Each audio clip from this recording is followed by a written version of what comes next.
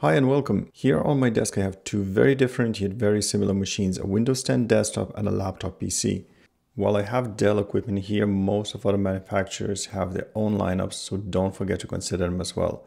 Now, most of us have been running our Office 365 suite and tools on desktops until recent events forced us to work from home and as a result in most cases driving us to move to laptop PCs. Now that we're slowly moving back to normal and are coming back to office, some of us, especially heavy users, and I'll explain this term a bit later, are thinking of going back to a good old desktop PC. The aim of this video is twofold. To show you that you might be just fine to continue using a laptop and on the other hand that you are losing performance and time by not switching to a desktop PC. Let's start right off with benchmarks. It's not necessarily a test to fit us all, but it will give us some, in my opinion, quite interesting data I around PCMark 10 software and its Express benchmark suite, which gives me essentials consisting of app startup, video conferencing, and web browsing scores, and productivity consisting of spreadsheets and writing score. So basically, imitating your standard Office 365 package and tools. The results speak for themselves. Laptop running on battery runs a bit slower than on mains, and more importantly, laptop on mains power in comparison to desktop runs at similar speed. So pick your favorite and you're all set. Well, I wish it was that simple. Now that we've seen the benchmark results, I would like to explain to you how it all works and how laptop manages to keep up with the desktop. Naturally, this will be followed by breaking the illusion. First things first, the main component of your PC, desktop or laptop for number crunching data and processing is your processor. Let's call it CPU for short. It does your Excel calculations, lets you quickly rearrange data in Word, helps you run your PowerPoint presentation smoothly, handles your video calls, you get the picture. It's the workhorse of your system. So let's break down on how we can measure its performance. Let's take the systems I have here as an example. If I press Ctrl Alt Delete, go to Task Manager Performance tab and have a look at my CPU, I can straight away see three important stats. CPU name, base speed, and physical cores along with the threads. Let me explain. CPU name will allow you to pull its specifications from manufacturer's site and this will be important shortly. Base speed, well, let's call it cruising speed of your CPU. It can run close to its speed for hours, even when pegged at 100%, especially important metric for heavy users. Physical cores and threads, this is a bit more complicated, so bear with. Physical cores are a physical subdivision of your CPU etched on its silicon, so let's call them workers for short. They can split the tasks and make things run smoother and faster by dividing the jobs. Threads or logical cores, on the other hand, is a small code allowing one worker to be a bit more effective. Imagine a person wielding two tools instead of one. Effectiveness here naturally is only a portion of a real worker, but it helps nonetheless. You probably see where I'm heading with this. Desktop PC can cruise faster, has more workers to tackle the tasks, yet laptop is not too far behind. How come? Let me circle back to another metric. These are Intel side graphs. Desktop's Intel i7 CPU is advertised as max turbo 4.7 and the laptop's Intel i7 is hitting close second of 4.2 gigahertz.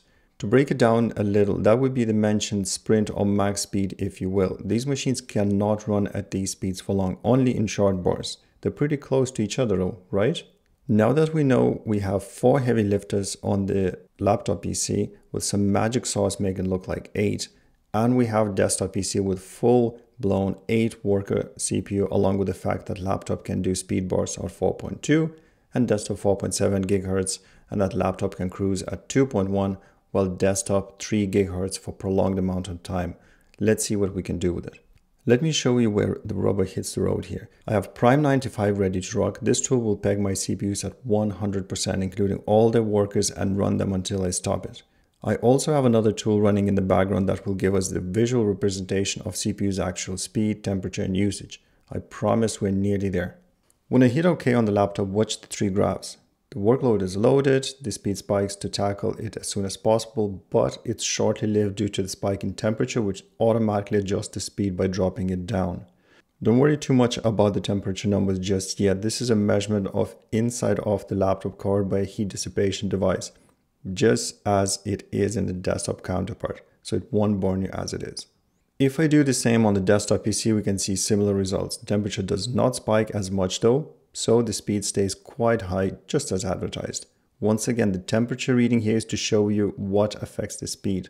Cooling solution here is large in size, so it is naturally more effective. Remember the graphs? I also mentioned lower laptop performance on the battery. Have a look at this. When I unplug the power cable from the laptop, the speed drops once again. Note the desktop PC is still going strong. In a nutshell, the benchmark results I've started this video with would be a daily usage scenario. Small jumps in CPU usage by us requesting for things to be done on our computers. Desktop or laptop doesn't matter. You also know how to check this by simply running the task manager. Since these are usually short bursts, CPUs can run at maximum speed and perform close. Remember, peak desktop speed here is 4.7 and laptop 4.2 gigahertz. Work account won't matter too much here. If you have four or more cores, you're good to go. The moment we throw a more complex calculation, one that needs all the resources and CPU usage is spiking at 100% for prolonged periods of time, the difference between desktop and laptop is now to, down to cruise speeds and in most cases work account matters. Laptop is losing here fast and hard. Keep in mind the temperature metric. Remember laptop and desktop being pegged at 100%? In these situations, while laptop can handle occasional heat dump, it is just not built for it. I haven't even mentioned the fan noise. It is very noticeable on a laptop. Having said all that there, there are beefier laptops, the likes of Dell Precision lineup, that can handle much more heat and perform faster. If the size and price doesn't worry you and you need Max Punch on the go, it might be just a tool for you. I will leave the rest to you. You have the tools, knowledge, and you know what you need to achieve. I will leave the form over function debate to you. As usual, Thank you for watching. Questions and comments are more than welcome. You have a good day. Till next time.